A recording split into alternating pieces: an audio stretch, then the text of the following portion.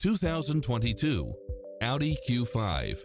With less than 5,000 miles on the odometer, this SUV offers space as well as power and performance. You'll love this long list of impressive amenities, which include the following.